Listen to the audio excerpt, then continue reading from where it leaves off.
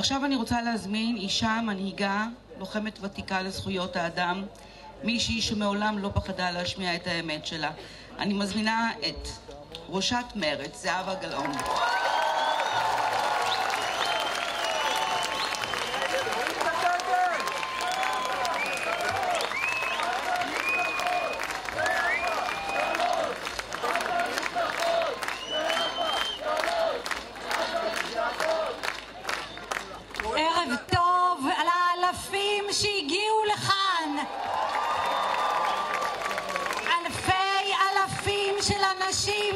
שהגיעו לכיכר. חברות וחברים, אתם מדהימים. משהו ברמקול, לא משהו. חברות וחברים, שותפים לדרך. ממשלת נתניהו יצאה לעוד מלחמה כי היא לא רצתה לעשות שלום. ממשלה בלי חזון מדיני ממשלת מלחמה.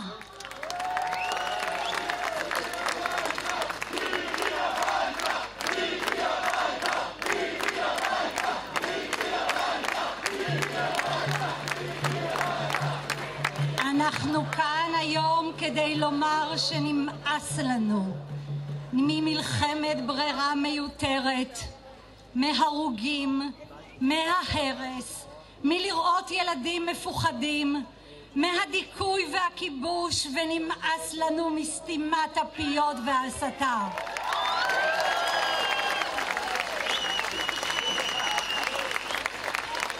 לפני יומיים, חברות וחברים, היינו כאן בכיכר להביע הזדהות עם תושבי עוטף עזה והדרום. ואמרנו שכולנו משפחה ישראלית אחת גדולה וחזקה, ולא ניתן לארגון טרור לירות טילים לעבר אוכלוסייה אזרחית ולחפור מנהרות שמגיעות לפאתי היישובים. והיום אנחנו מפגינים בדמדומיו של מבצע צוק איתן, מבצע שהתנגדנו אליו מהיום הראשון, מבצע שהוא כרוניקה של כישלון ידוע מראש.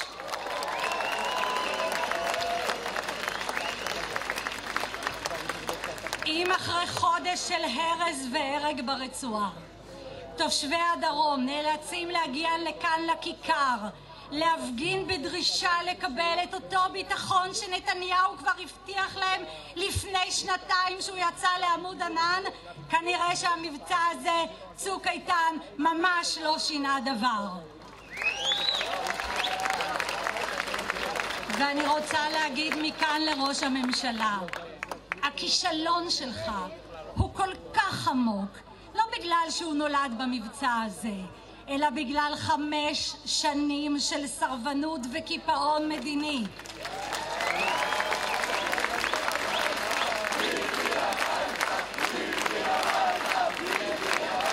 לא שומעים,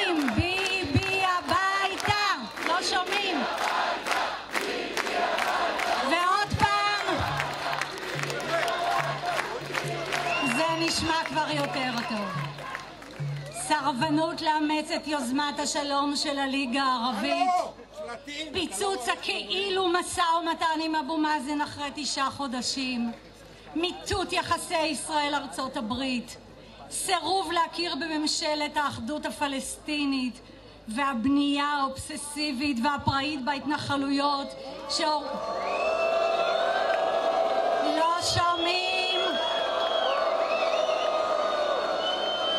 ועוד פעם זה נשמע יותר טוב.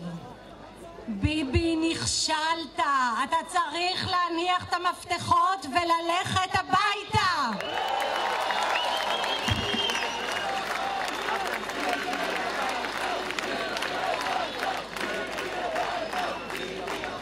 נכשלת להוביל את ישראל למקום בטוח יותר לחיות בו. נכשלת בביטחון, נכשלת בשלום, נכשלת בכל פרמטר אפשרי בסולם הערכים שבו נמדדת מדינה מתוקנת.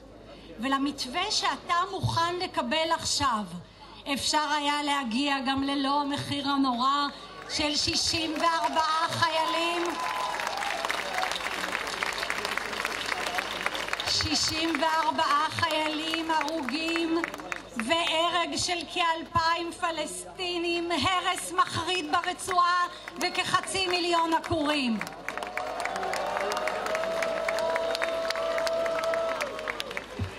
חברות וחברים, אני עומדת כאן על הבמה, אני בקושי רואה מה כתוב לי, אבל אני רואה את האלפים שגודשים את הכיכר.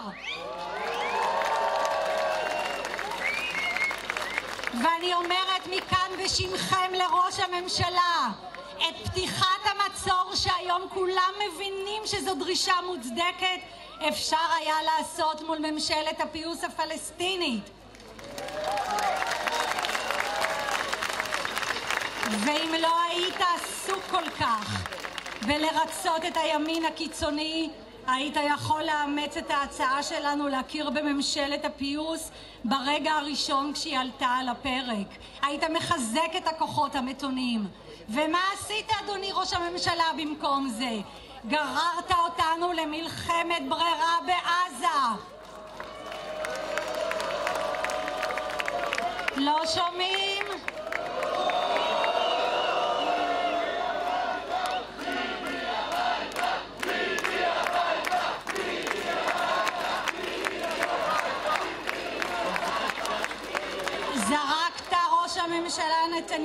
לחמאס חבל הצלה שחילץ אותו מהבור הכי עמוק שהוא היה בו ונתת לו הישגים שלא הייתה שום סיבה שיירשמו על שמו ועל שם המנהרות שהוא חפר והרקטות שהוא ירה על ישראל.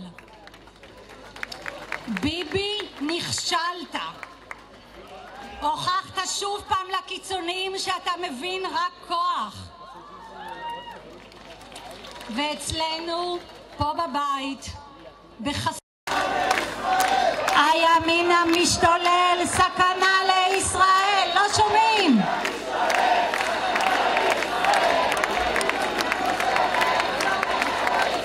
ומה עם השרים לבני ולפיד?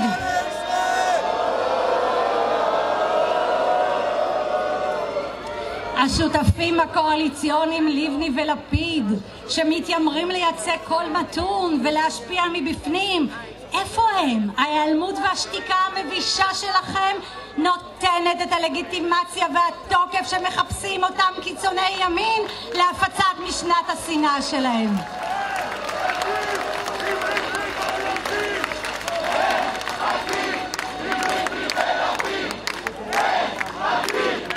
לא שומעים? זה כבר יותר טוב. חברות וחברים, לממשלה הזו היו חמש שנים של צ'ק פתוח ליישם את המדיניות שלהם. חמש שנים של התקרבנות צבועה כשבתקופה הזו היו שני מבצעים כושלים ואלימות בלתי פוסקת. ממשלה שלא מסוגלת להביא שקט ארוך טווח לדרום ותקווה לשני העמים, האשמה היא כולה עליה והמבצע הזה הוא החותמת הסופית.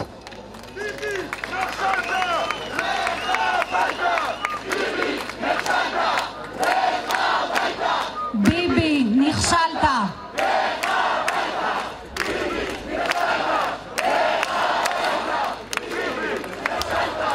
ובכל זאת, חברות וחברים, משהו אופטימי לסיכום. המציאות לא פשוטה, אבל היכולת לשנות אותה היא בידיים שלנו. הציבור בישראל תומך בפשרה, בשיתוף פעולה יהודי-ערבי, בסיום המצור על עזה, בסיום הכיבוש.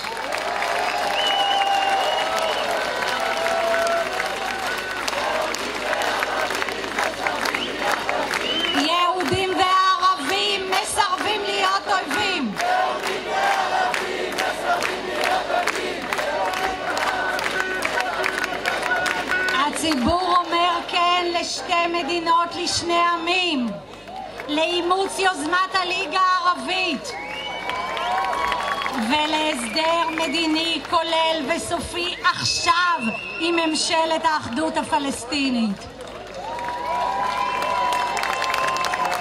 הציבור בישראל אומר כן לדמוקרטיה, כן לשוויון וכן לשלום.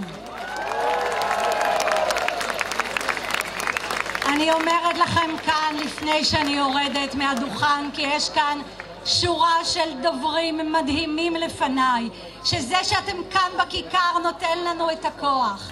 אין ביטחון ללא שלום, השלום לא מת, הוא לא עבד, הוא פשוט נמצא בידיים הלא נכונות.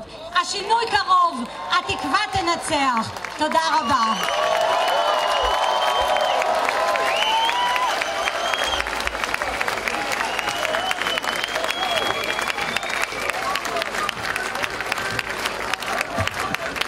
לפני שאנחנו ממשיכים, אה, לפני שאנחנו ממשיכים רציתי לספר לכם שהגיעו כעשרת אלפים איש לוועדה